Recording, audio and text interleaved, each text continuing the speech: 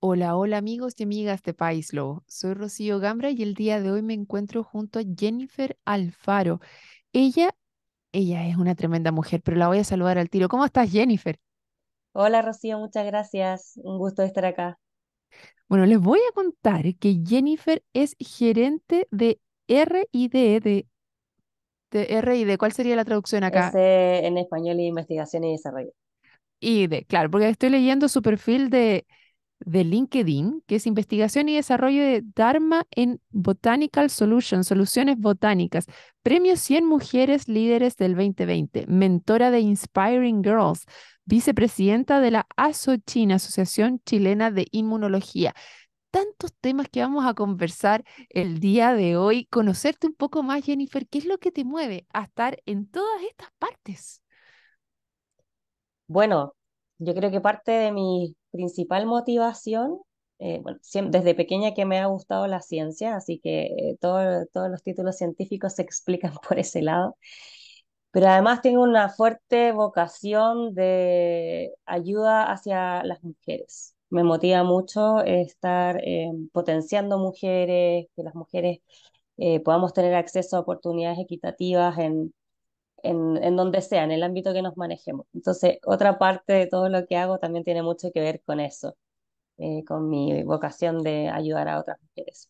Mira, vamos a contarles qué es lo que estás haciendo tú actualmente y después vamos a hablar un poquito del camino que te llevó a esto para que otras chicas también se sientan inspiradas tal como tú lo estás haciendo en tu otro alter ego.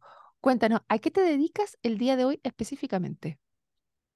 Bueno, eh, actualmente soy gerenta de investigación y desarrollo en una empresa biotecnológica que se llama Botanical Solutions. Y estoy encargada del área farm. Eh, lo que hacemos en Botanical es que trabajamos en dos áreas. Una es el área del agro, donde tenemos un biofungicida para la botritis, que es un hongo que afecta a los cultivos de alto valor. Eh, de hecho, es uno de los primeros biofungicidas que se han registrado en Chile. Eh, y además tenemos un negocio en el área farma, donde trabajamos con el quillay, que no te había mencionado que ese es el árbol con el que trabajamos, y eh, hacemos un producto que es un potenciador de vacunas, un ayudante de vacunas. Y el, el valor agregado de la empresa o la motivación detrás de Botanical es que sacamos el bosque de la ecuación y lo que hacemos es trabajar con el quillay de una manera sustentable, creciéndolo en el laboratorio en bioreactores. Básicamente es eso. Wow, o sea, tienen un bosque en un laboratorio. Exactamente. Sí. Y con eso toman una parte de, de este quillay para poder hacer estos fungicidas, pero lo tuyo va más con el coadyuvante de las vacunas. Y son unas vacunas bien especiales que no, no se producen aquí en Chile, ¿no? Exactamente. De hecho, es, el producto con el que nosotros trabajamos se llama QS21 y es una molécula que está escrita hace más de 30 años, que tiene mucha investigación alrededor y que normalmente se produce de la corteza de los árboles del quillay. Y esa molécula la, eh, la lanzó a la fama eh, la farmacéutica GSK al incorporarlo en tres de sus vacunas, una vacuna para la malaria, una vacuna para el herpes zóster y en su nueva vacuna para el virus incisional. La molécula es parte de una formulación que va dentro de la vacuna. Wow, del virus incisional, ese está todavía en prueba, ¿no? Porque no existe todavía uno, por lo menos aquí en Chile, que se esté utilizando la vacuna contra el virus incisional. Está aprobada, fue aprobada hace poquito, eh, para eh, ser usada en adultos. Y de hecho, eh, Pfizer también sacó ahora una vacuna para ser usado en, en, menores. Pero sí, ya está aprobada, así que pronto yo creo que va a empezar a salir al mercado. Y bueno, porque este, este invierno fue bastante duro en ese sentido, porque no teníamos una vacuna, justamente los chiquititos vimos casos bien terribles que lamentablemente fallecieron a causa de esta enfermedad. Y también afecta bastante a adultos mayores, así que es muy bueno que en Chile ya tengamos, ojalá para el próximo invierno, una vacuna que nos permita hacer una gran campaña justamente para eso. Y tú eres parte del proceso finalmente, porque dentro de este coadyuvante que es tan importante, se pueden generar estas vacunas y con eso la inmunidad que necesitamos. Ahora, es esto se está realizando aquí en Chile. Estamos generando biotecnología, estamos generando estos coadyuvantes. Qué gran noticia se tiene al respecto. Y dentro de eso, ¿cuántas mujeres ves alrededor tuyo en este, en este mundo? Mira, la verdad, me gustaría ver muchas más. No somos tantas, sobre todo en los puestos más em, como de, de cargos más gerenciales. Eh, yo vengo de otra empresa que em, se llama Merck Biotech, que se, hace tiempo que estoy trabajando en varias empresas de biotecnología, entonces tengo como una carrera ya en eso. Y en esa empresa, em, la mayoría de, la, de los que trabajaban ahí eran mujeres. Eh, de hecho, eh, creo que era como el 60%. Y en Botanical también hay un gran, una gran dotación de mujeres, pero son pocas las que están en los cargos más altos, en términos de em, sugerencias o gerencias o, jefaturas. Siempre han sido menos. Y yo creo que eso es algo que está empezando a cambiar y algo que yo por lo menos quiero promover que se, que se cambie, porque tenemos mucho talento que aportar. Sin duda, o sea, en temas de botánica, de biología, ahora de ciencia, sí está viendo el aporte femenino, la importancia que tiene, y sin embargo, todavía hay pocas niñas que en primera instancia señalan que les gustaría dedicarse a esto. Y hay una agenda que se llama STEM, que es ciencia, bueno, ahí tú te la sabes mejor que yo, ¿no la puedes traducir? Y eh, eh, el STEM viene de Science, Technology, Engineering and Mathematics, que sería ciencia, tecnología, ingeniería y matemáticas. Eh, que son todas las áreas que se asocian a estas carreras eh, más como duras, que normalmente se, se trata de mencionar así, em, que son áreas que normalmente las mujeres no están considerando.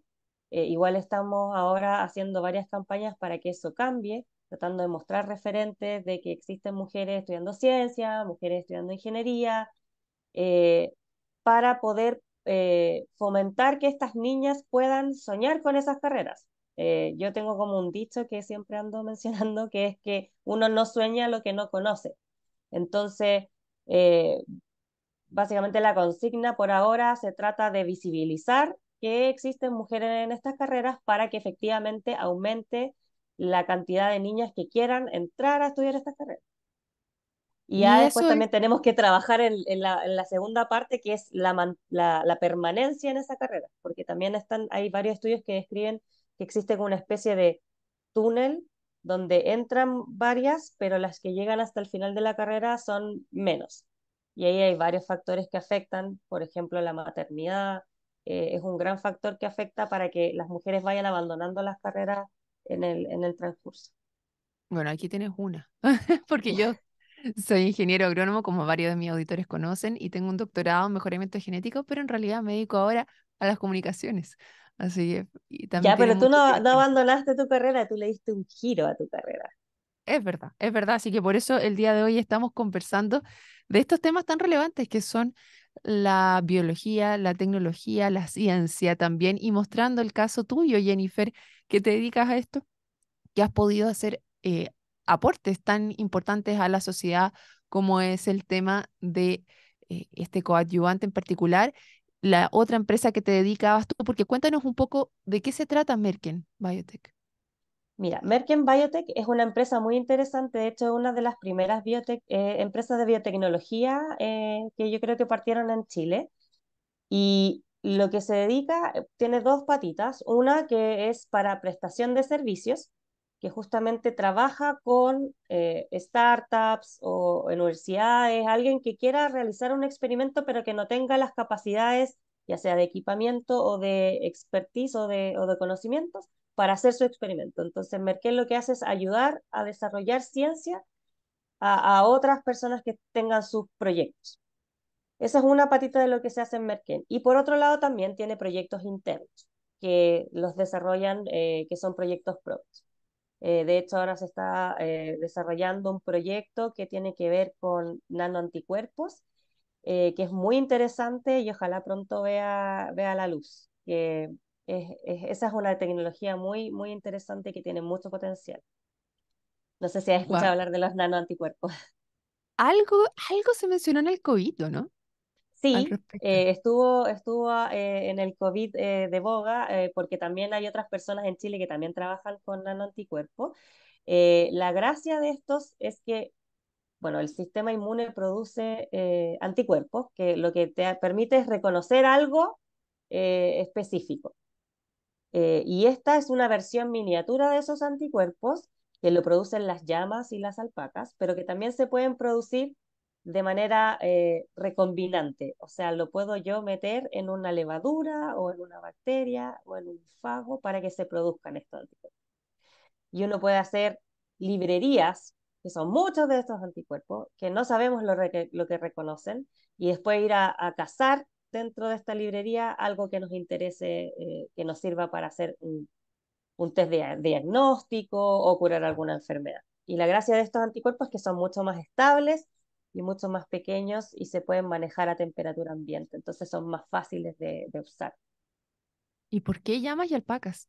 ¿Qué, qué tienen de especial ellas que generan estos La nanoanticuerpos? evolución, la evolución las hizo eh, eh, poder generar este tipo de anticuerpos que son distintos de los otros, que normalmente uno tiene un anticuerpo que tiene dos cadenas, una que se llama cadena pesada y cadena liviana, y estos solamente tienen la cadena liviana y por lo tanto los hace ser más pequeñitos y más estables. Así lo hicieron. Tengo entendido que también los, eh, los tiburones también tienen un tipo de anticuerpo que también es como especial, que también podría usarse como un nanoboy, pero la gente usó las alpacas y, y, ya todo el mundo conoce los nanoboys por eso, por eso mismo. Buenísimo. Y bueno, eso es una de las cosas que se quiere conocer otras cosas que se están haciendo aquí en Chile, no solamente para las mujeres de empezar a soñar, las niñas entrar en esto, sino también para todos los que estamos aquí que de repente decimos, ay, todo se viene de afuera. Eh, es difícil hacer ciencia aquí en Chile. Qué, qué interesante es esto que tú señalas, o sea, es difícil soñar si uno no ve una cosa diferente. Y qué bueno saber que aquí en Chile se, está, se están haciendo este tipo de cosas. Creo que es muy relevante eh, ponerlo sobre la palestra y te agradezco que lo haya traído el día de hoy. Respecto a Mentora Inspiring Girls, ¿qué, qué es específicamente? Sí, esa es otra de, de, las iniciativas en las que yo participo. Inspiring Girls es una fundación eh, internacional que también tiene eh, ahora una, una sede en Chile, que se dedica a mostrar opciones laborales para las niñas.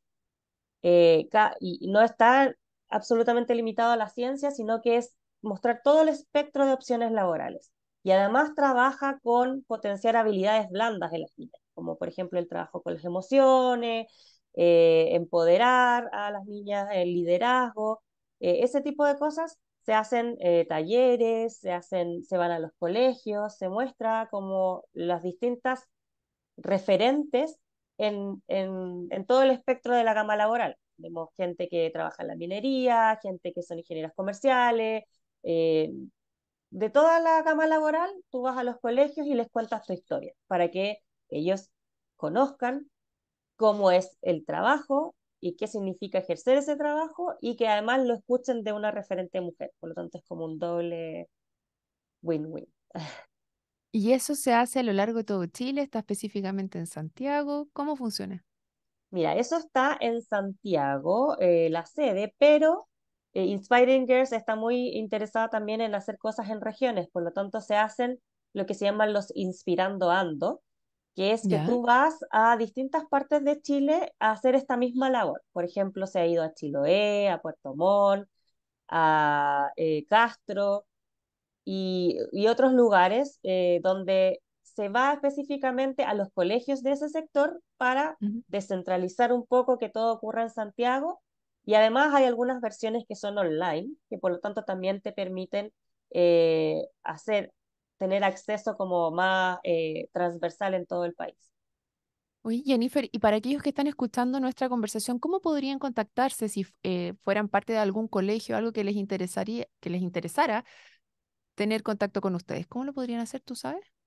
Sí, eh, mira, Expiringers tiene presencia en, yo diría que principalmente en Instagram, eh, pero también tienen página web y también tienen eh, presencia en LinkedIn. Así que cualquiera de esos canales Eh, también pueden seguir mi LinkedIn, me contactan a mí, yo las contacto con, con, la, con la, el equipo que está liderando la iniciativa, eh, porque claro, sí, es muy importante que, que podamos tener acceso a estas cosas. Así es. Bueno, te quiero agradecer, Jennifer Alfaro, por conversar con nosotros el día de hoy de estos tremendos temas, de mostrarnos que se están haciendo cosas tan interesantes en Chile a nivel de tecnología, eh, que cosas nuestras, porque el quillaja saponaria, la, el quillay conocido acá, es nuestro y es muy importante saber que también lo que yo siempre leo es que el capital humano es lo más importante y que puede soñar en grande como lo, lo hiciste tú y estás en el lugar donde estás y que también te dedicas a inspirar a otros que puedan seguir ese camino. Así que muchas gracias y muchas felicitaciones, Jennifer. Sí, solo me gustaría mencionarte una última iniciativa que, que, que, que creo que va en pos y, en, y alineado con lo que me acabas de mencionar, que se llama Woman Board Up. Y, esta iniciativa lo que hace es tratar de posicionar mujeres en los directorios de empresas de bases científico-tecnológicas o de empresas innovadoras. Y ese es un nicho que también eh, yo te, te comentaba cuando estábamos conversando, de que hay hartas mujeres que entran de repente a carreras científicas sobre todo, pero pocas que están en, los, en las posiciones de poder. Eh, entonces, esta, esta agrupación se dedica a tratar de posicionar mujeres en esos cargos de poder. Y por lo tanto me parece eh, una iniciativa que también es digna de, de destacar. Y, y hacen maneras. cursos donde te entregan las herramientas para tu poder eh, ser parte de un directorio. Bueno, sin duda, el premio lo tienes más que ganado de, 100, de las 100 mujeres líderes y te agradezco mucho por conversar conmigo y con nosotros y todos los auditores de País Lobo el día de hoy. Y a todos los auditores les recuerdo que esta y otras entrevistas las pueden revisar en www.paislobo.cl y si les gustó, no se olviden de compartir. Nos vemos en otra oportunidad. Chao, chao.